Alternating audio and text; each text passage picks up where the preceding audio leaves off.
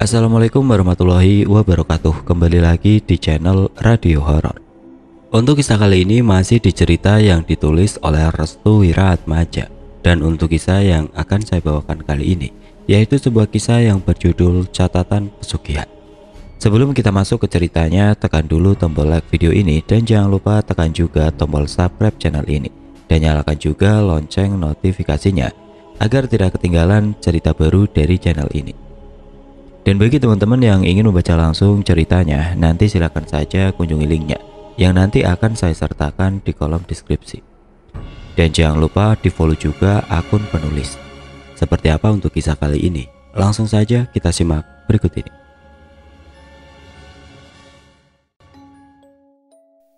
Saya sebenarnya takut untuk menceritakan hal ini. Terlebih lagi ini tergolong aib dan entah kebenarannya seperti apa. Namun ketika beberapa hari yang lalu saya pergi ke Pekalongan, saya diceritakan dengan detail mengenai pesugihan itu. Saya akan menggunakan sudut pandang narasumber dan saya perbaiki alur ceritanya. Jadi dimohon untuk sabar dan tenang dalam mendengarkan kisah ini.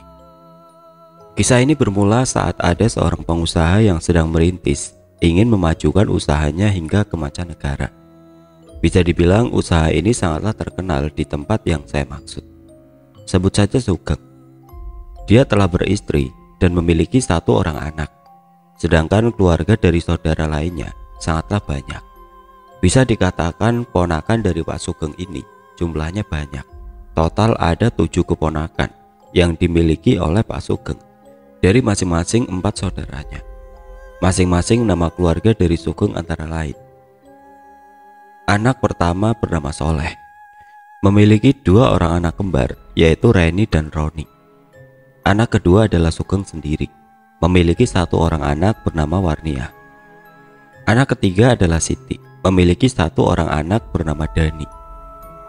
Anak keempat adalah Darsim, memiliki dua orang anak bernama Jaja dan Wahyuni. Anak kelima adalah Sapari, memiliki dua orang anak bernama Raffi dan Wulan.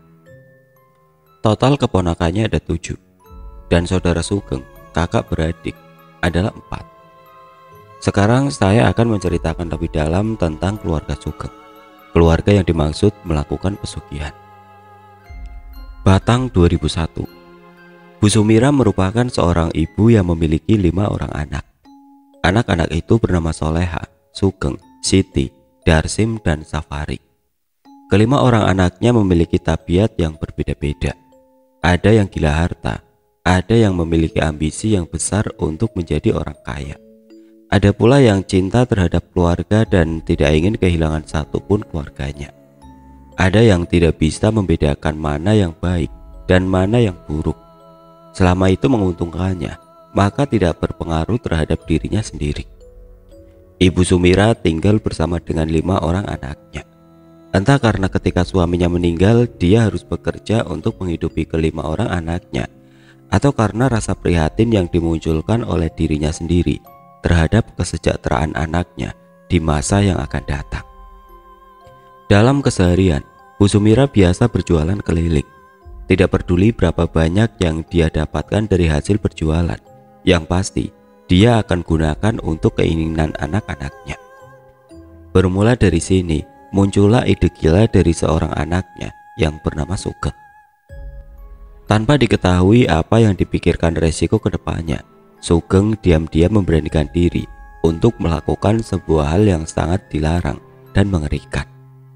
Dia melakukan perjanjian kontrak dengan seorang dukun yang tujuannya adalah untuk menjadi orang yang kaya raya. Sugeng sendiri merupakan seorang pengusaha yang sedang merintis kecil-kecilan. Sugeng berupaya untuk merahasiakan ini dari seluruh keluarganya agar tidak diketahui dari mana dia mendapatkan uang yang melimpah. Bisa dibilang, Sugeng nekat karena permasalahan ekonomi yang mencekik leher keluarganya hingga kesusahan. Jalan yang ditempuhnya ini dia sadari sebagai jalan yang salah dan beresiko berat terhadap dirinya sendiri dan juga saudara-saudara yang lainnya. Batang awal tahun 2002 Aku dan Darsim akan tinggal di Pekalongan untuk merantau. Ibu di sini bersama dengan Sugeng dan yang lainnya nggak apa-apa kan? Tanya Siti kepada Bu Sumira. Mau apa ke Pekalongan, Duk? Tanya Bu Sumira. Ibu tahu sendiri, beras sudah mahal, makanan sudah naik semua. Jalan satu-satunya adalah merantau untuk menghidupi keluarga kita. Jelas Siti. Tapi, Duk, kamu gak kasihan sama ibu? Tanya Bu Sumira. Siti agak berat menjawab pertanyaan sensitif ini. Dia tidak mau ibunya berlarut-larut dalam kesusah payahan yang dilakukannya setiap hari. Bu, insya Allah nanti aku kirim tiap bulannya agar ibu nggak usah jualan lagi. Akhirnya, dengan terpaksa Bu Sumira mengizinkan Siti dan Darsim untuk merantau ke Pekalongan. Memang tidak terlalu jauh antara Pekalongan dan Batang. Daerah tetangga yang dinilai sudah berkembang dengan nilai UMR gaji yang dibilang lumayan ini harus dijadikan tempat pelariannya. Akhirnya Siti dan Darsim berangkat. Geng, nitip ibu ya, saya dengan Darsim ingin merantau ke Pekalongan. Kamu jaga yang lainnya, ucap Siti. Sugeng tersenyum, walaupun dia sudah bekerja, namun belum juga mampu untuk menghidupi seluruh keluarganya. Kini tinggallah di Batang yaitu Ibu Sumira, Sugeng, Soleha dan Safari. Sedangkan Darsim dan Siti, dia merantau ke Pekalongan. Siti dan Darsim berada di tempat yang berbeda di Pekalongan. Siti berada di kabupatennya dan Darsim berada di kotanya. Namun keduanya sering sesekali bertemu, walau sekedar membahas sedikit demi sedikit hasil dari perantauannya. Pekalongan pertengahan tahun 2002. Siti bermaksud untuk menemui Darsim di sebuah tempat yang terkenal dengan makanan lezatnya. Wajar saja, karena keduanya sudah bekerja, mereka pun bertemu di tempat yang tidak biasa. Mbak, kamu tahu nggak? Sugeng sudah kaya, sudah terkenal, ucap Darsim. Ah, kata siapa? Kok aku nggak tahu? Tanya Siti. Aku tahu dari temanku mbak. Siti tidak percaya dengan apa yang dikatakan oleh Darsim kepadanya tentang kemajuan pesat yang dialami oleh Sugeng. Sebentar, aku mau tanya, kamu tahu dari temanmu? Teman kerjaan? Tanya Siti. Iya mbak, teman kerja. Jelas Darsim. Kan kamu kerja di restoran. Kok bisa? Tanya Siti. Kebetulan pasokan makanan diambil dari Batang. Dan katanya yang punya itu adalah orang asli Batang. Namanya Sugeng. Siapa lagi toh yang namanya Sugeng? Kalau bukan kakak kita sendiri. Siti agak terkejut Bagaimana bisa Sugeng melakukan itu semua dengan cepat? Hanya dalam hitungan bulan, dia sudah tersohor di seluruh penjuru negeri. Namanya menjadi sebutan bagi para kaum bawah yang membutuhkannya. Bak seorang raja yang dinisbatkan dengan tiba-tiba, pertanyaan demi pertanyaan muncul di benak Siti. Apakah Sugeng benar-benar pekerja keras? Mbak, kok melamun? Tanya Darsim. Eh, enggak kok. Bagaimana kalau kita besok pulang ke Batang? Tanya Siti. Boleh, Mbak. Atas kesepakatan bersama, mereka pun akhirnya pergi menuju ke Batang keesokan harinya. Siti dan Darsim berangkat ke Batang menggunakan bis. Mereka berdua meminta untuk izin kepada tempat kerja masing-masing karena ada urusan keluarganya. Batang pertengahan bulan 2002. Sugeng tampak sedang memandangi para pekerjanya yang sedang mengangkat ikan-ikan asin hasil tangkapan nelayan. Bos, hari ini kita akan mengirim ke Singapura. Jelas salah satu pekerjaannya. Siapkan semuanya, jangan sampai ada yang ketinggalan. Siap bos, ucap pekerja itu. Tepat dengan itu, Siti dan Darsi mendatangi lokasi yang dimaksud. Mbak, itu Mas Sugeng, senyum Darsi. Siti tersenyum mendapati kakaknya sudah sukses menjadi bos besar ikan di daerah Batang. Mas Sugeng, teriak Darsim dari kejauhan. Walah Darsim, bagaimana kabarnya? Tanya Sugeng. Alhamdulillah bagus mas, kamu sekarang menjadi bos besar yuk. Walah mantep. Sugeng tertawa lega dengan Darsim. Siti hanya memandangi mereka berdua sambil tersenyum. Mbak Siti, sini teriak Darsim. Oh iya, aku lagi liatin pantai yang bagus ini. Udah lama ya, kita nggak ke pantai bareng-bareng semenjak bapak meninggal. Ucap Siti. Walah, kamu masih inget kenangan itu? Sudahlah, kita nggak usah ingetin itu lagi. Bapak juga sudah meninggalkan. Sudah nggak bisa diharapkan lagi. Iya toh? Tanya Sugeng. Siti terkejut mendengarnya. Maksudnya apa mas? Tanya Siti. Eh enggak, maksudku kita sudah dewasa. Kita juga harus menikah, lalu berjuang dan mandiri sendiri. Kita hanya bisa mendoakan bapak yang sudah meninggal.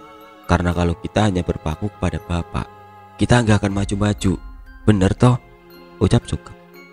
Darsi memandangi Siti dengan wajah yang agak bingung. Dia tidak paham maksud dari kakaknya ini. Oh alah gitu toh. Iya mas, aku sama Mbak Siti di Pekalongan. Kebetulan tempat kerjaku di restoran dan pasokan seluruh kebutuhan makanan dari kamu mas.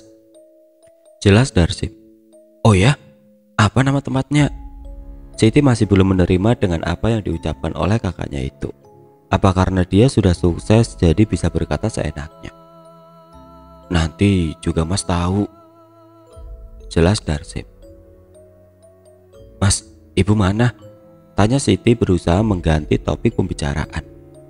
Ibu sakit, sakit keras, jelas Sugeng. Innalillahi, sakit apa mas? Tanya Siti. Sakitnya belum diketahui. Kadang-kadang dia ngigau nggak jelas. Kadang juga marah-marah sendiri Mungkin sudah waktunya. Jelas Sugeng. Sudah waktunya. Sudah waktunya apa mas? Tanya Siti. Meninggal. Jelas Sugeng. Siti terkejut mendengar kabar yang tidak mengenakan ini. Dia pun tampak curiga. Mengapa Sugeng tampak biasa-biasa saja? Tidak ada raut muka perasaan bersalah atau kesedihan. Kalian habis ini mau ke mana? Tanya Sugeng. Kami mau ke rumah ibu. Gak sopan rasanya jika tidak nengok. Siti, kamu mau ikut? Tanya Sugeng. Iya mas, saya ikut apa kata Darsim saja. Lagian kami cuti tiga hari kok mas. Jelas Siti. Walah, bagus kalau gitu. Sekalian kita reuni keluarga. Kebetulan mas ingin buat mendata nama-nama keluarga ibu. Ucap Sugeng. Untuk apa mas? Sugeng terdiam sesaat. Dia memberikan sesuatu kepada Darsim dan Siti. Ini kartu nama mas. Barangkali kalian butuh untuk pengiriman bahan makanan atau uang. Tinggal menghubungi Mas saja. Jelas Sugeng. Jadi, kita akan dikirim uang oleh Mas Sugeng? Tanya Darsin. Iya, karena Mas nggak mau adik-adik Mas yang sedang merantau kesusahan. Senyum Sugeng. Siti dan Darsim tampak bersyukur karena mendapati kakaknya yang perhatian. Mereka berdua tidak tahu bahwa pendataan itu merupakan bagian dari catatan pesugihan. Mereka bertiga pun bertolak menuju rumah Bu Sumira. Kebetulan setelah usaha yang dilakukan Sugeng melesat tinggi, Sugeng memutuskan untuk membeli rumah baru. Namun tidak menutup kemungkinan. Dia sering pergi menginap di rumah ibunya, yaitu Ibu Sumira. Bu Sumira sendiri tinggal bersama dengan Soleha dan Safari, yang mana keduanya sangat setia menemani Bu Sumira walau sakit-sakitan. Sugeng juga selalu menyuntikkan dana kepada keduanya, yaitu Soleha dan juga Safari. Rumah Bu Sumira. Mereka bertiga telah tiba ke halaman lama mereka, tempat bermain waktu kecil yang penuh dengan kenangan dan memori yang indah. Begitu juga dengan suasananya yang masih sejuk seperti biasanya. Tidak ada kekurangan apa pun dalam hal kondisional yang berada di rumah. Akhirnya mereka pun memasuki rumah. Di dalam rumah, Siti dan Darsim terkejut karena rumah pun tidak ada perubahan sama sekali. Tidak ada renovasi pembangunan dan perbaikan warna cat tembok yang masih itu-itu saja warnanya. Bahkan ruang tamu pun masih dengan kursi dan meja yang sama. Siti mulai curiga, apakah Sugeng sangat pelit terhadap ibu?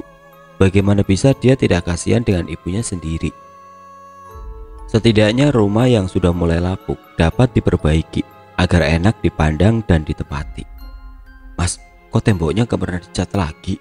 Terus kursi-kursi gak diganti-ganti ya? Tanya Siti kepada Sugeng. Ibu itu keras kepala, dek. Dia menolak semua pemberian yang diberikan oleh Mas kepada ibu.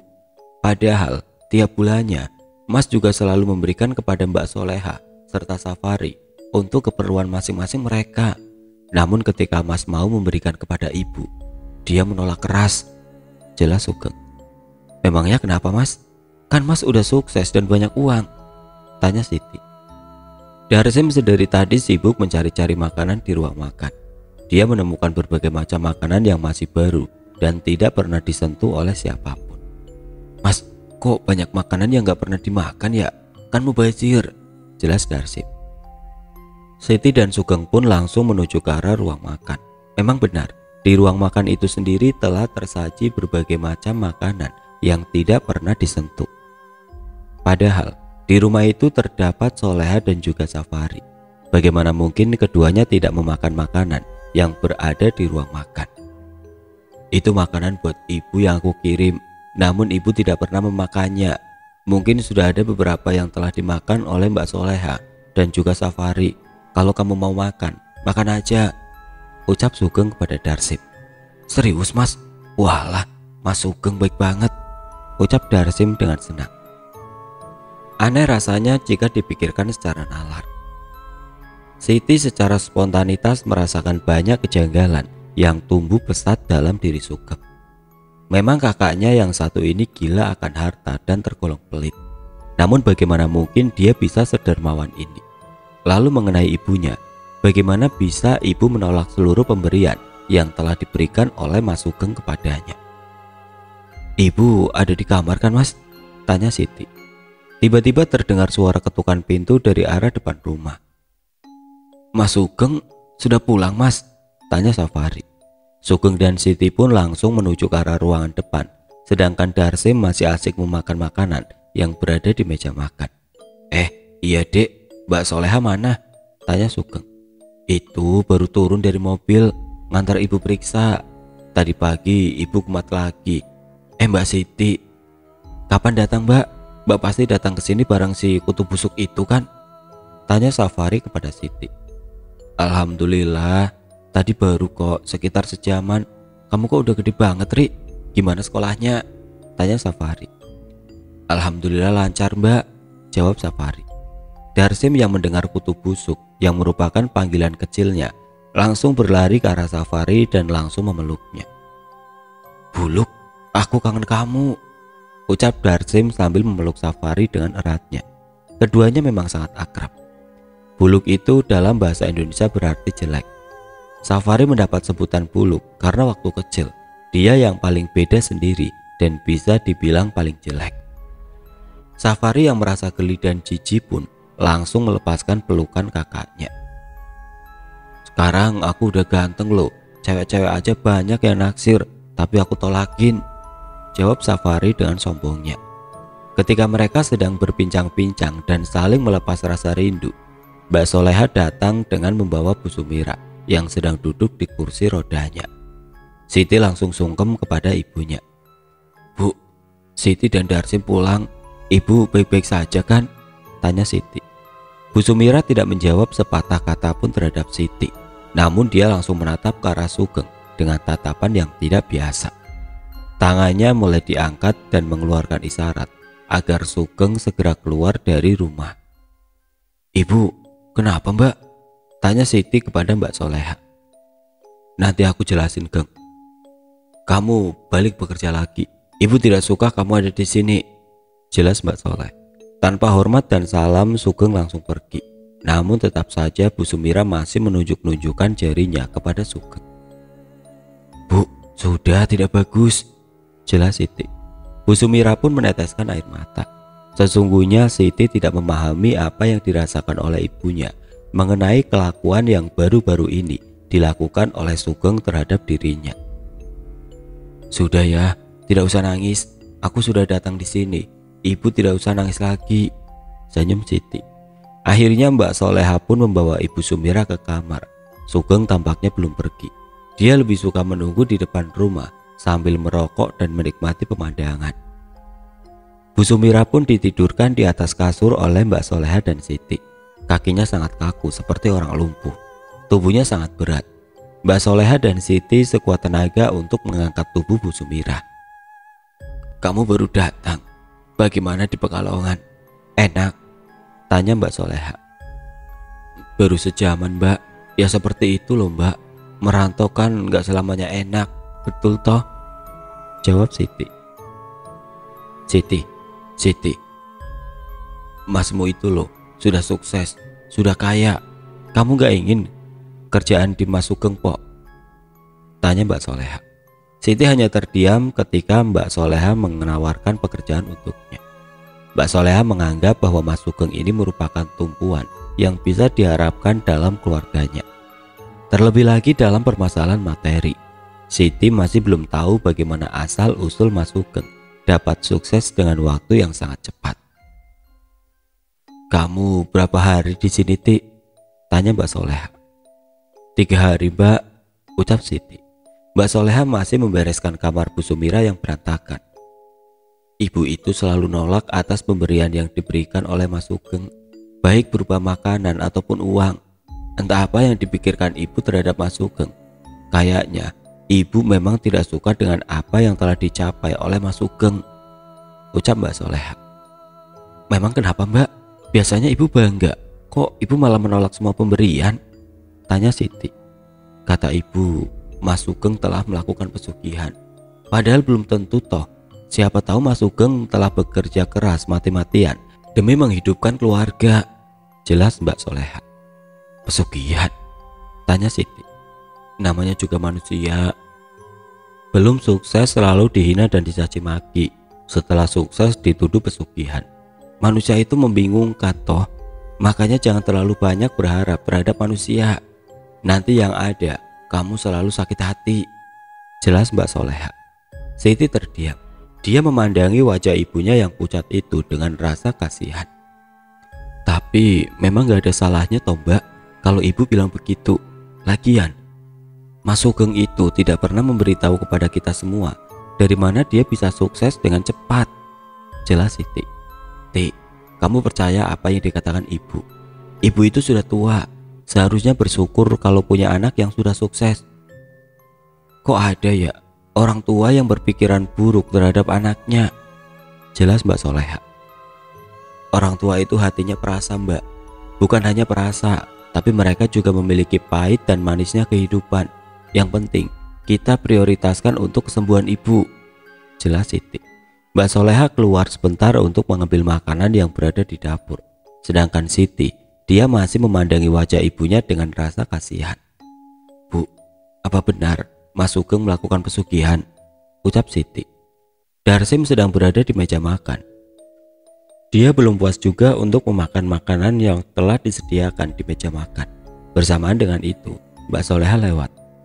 Kamu lagi apa Sim? Tanya Mbak Soleha. Iki loh mbak, jeruknya nggak dimakanin. Kasihan mbak, mubazir. Jawab Darsim. Jangan dimakan, ini punya ibu.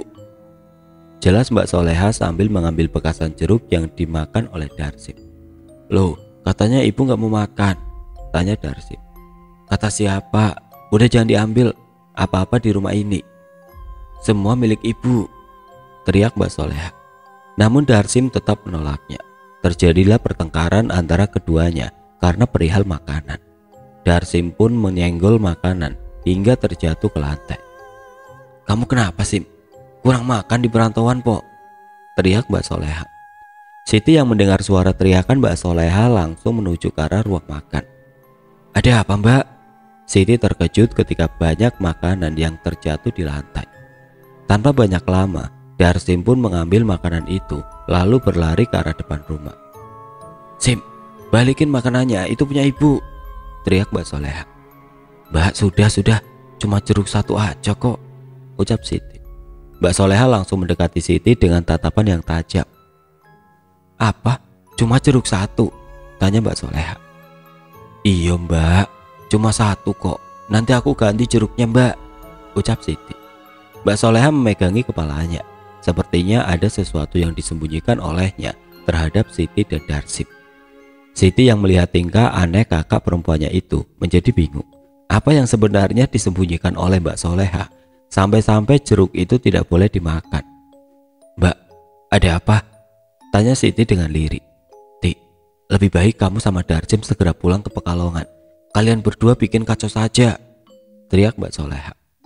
Emangnya Siti dan Darsim kacauin apa mbak? Kan Darsim cuma ngambil jeruk satu. Kalau mbak gak ikhlas, nanti aku beliin lagi jeruk satu kilo buat gantinya. Jelas Siti sambil memasang wajah kesal. Tiba-tiba Safari dan Mas Sugeng masuk. Ada apa mbak? Tanya Mas Sugeng. Lihatlah, ucap Mbak Soleha dengan wajah sedih. Mbak, kok bisa-bisanya mbak bikin kacau?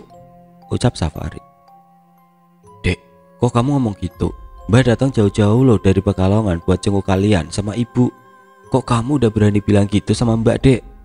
Tanya Siti kepada Safari. Safari langsung menggenggam tangannya, namun Mas Sugeng langsung menahan tangan Safari. Sudari, ini mbakmu, jelas Sugeng. Jangan sampai tanganku pukul tubuhmu mbak, ucap Safari. Darsim yang melihat pertengkaran seluruh saudara-saudaranya hanya bisa berdiri di depan pintu. Dia tidak mengerti bagaimana bisa sifat saudara-saudaranya langsung berubah total. Dengan jarak beberapa bulan ditinggal di perantauan. Kamu sama Darsim menginap di rumahku ya? Tanya Mas Sugeng. Siti menatap wajah Mbak Soleha dan Safari yang sudah berbeda dari yang dikenalnya selama ini. Siti pun langsung meninggalkan mereka berdua dengan wajah kesal. Safari ingin menggertaknya, namun Sugeng menghalangi langkahnya. Jangan emosi, belum waktunya, ucap Mas Sugeng. Mas, bagaimana ini? Tanya Mbak Soleha. Sabar, tarik ulur saja dulu. Biarkan Siti dan Darsim tinggal di sini. Malam ini kita jalankan ritualnya. Jelas Mas Sugeng. Di antara ketiganya merupakan terdapat sebuah persekutuan yang pernah menandatangani kontrak terhadap sosok Ratu Ular yang disebut-sebut sebagai bagian dari pesugihan ini. Ingat, tetap layani ibu seperti biasa. Aku nggak tahu kapan Ratu akan datang. Tapi yang pasti, jika malam ini dia datang, kita sudah siap Nanti akan aku beri hasilnya kepada kalian semua. Ucap Mas Sugeng. Safari dan Soleha mengangguk paham. Kini keduanya merupakan bagian dari orang-orang yang melakukan pesugihan terhadap keluarganya sendiri. Siti dan Darsim langsung pergi dari rumah itu. Keduanya tampak kecewa dengan sikap saudara-saudaranya yang tidak menghormati akan kedatangannya. Mbak, kita mau ke mana? Kita mau langsung pulang ke Pekalongan? Tanya Darsim. Kita nginep di rumah Mas Sugeng dulu. Aku masih belum tenang dengan sikap aneh mereka. Sepertinya mereka sedang menyembunyikan sesuatu terhadap ibu. Ucap Siti. Sugeng mendatangi mereka berdua. Siti, Darsim, maafkan Safari dan Mbak Soleha ya. Kalian kan tahu kalau itu makanan buat ibu. Jadi mungkin mereka berdua nggak mau kalau kalian bersikap seenaknya terhadap sesuatu yang bukan hak kalian. Ucap Sugeng. Mas, Sebenarnya ibu sakit apa? Tanya Siti. Sugeng tidak bisa berkata-kata. Sugeng merasa Siti sudah mengetahui gerak-gerik yang membedakan antara sakit yang nyata dengan sakit karena dibuat-buat. Nanti aku ceritakan di rumah. Sekarang kita pulang dulu. Gak enak. Tetangga sudah mulai memandang kita dengan pandangan yang aneh. Ucap Sugeng. Baik mas. Semenjak Bu Sumira sakit, Sugeng selalu dipandang sebelah mata oleh para tetangga di sekitaran rumah ibunya. Kerap kali tetangga berbisik-bisik mengenai sebuah pesugihan yang baru-baru ini sedang dikerjakan oleh seseorang mirip dengan Sugeng. Pesugihan itu merupakan sebuah pesugihan kontrak antara dirinya dengan Ratu Ular. Siti dan Darsi mendatangi rumah Sugeng yang besar.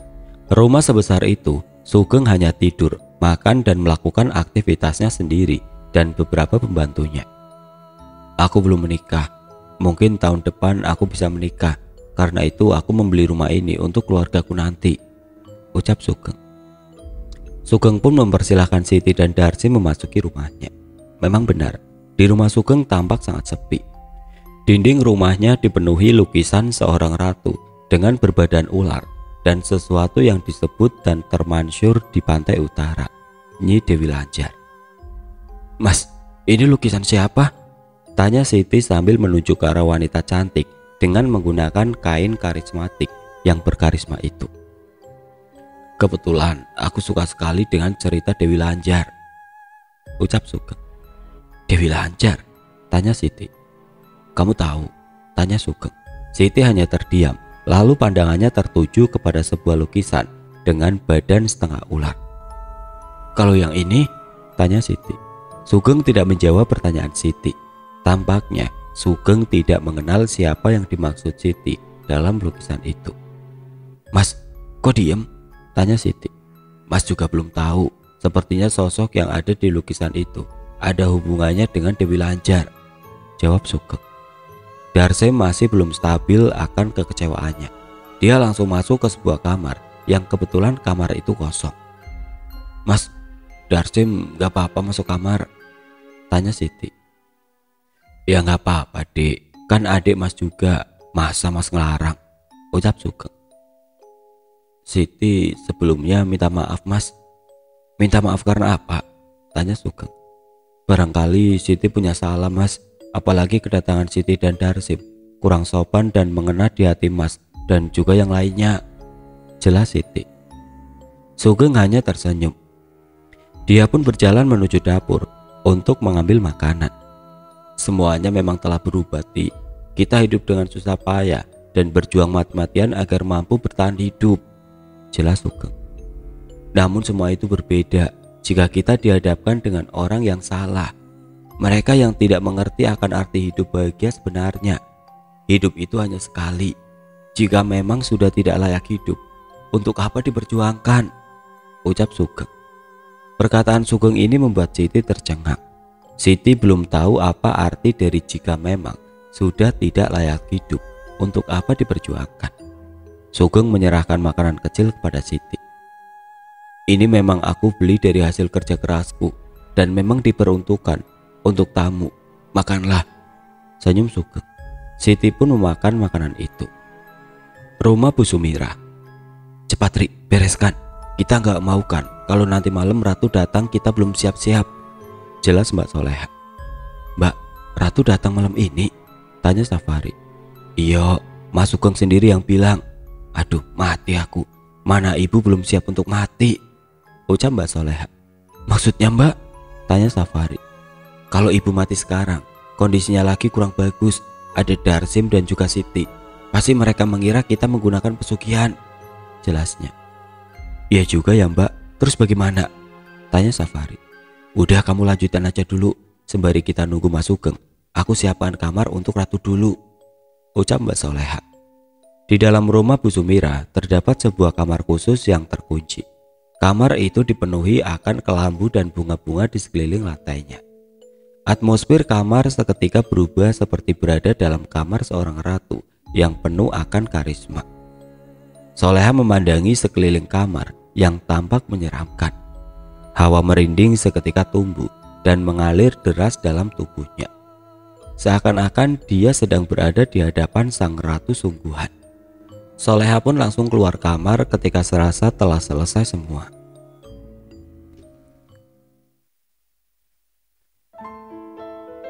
Oke teman-teman sampai di sini dulu ceritanya. Nantikan kelanjutan kisah ini di video berikutnya.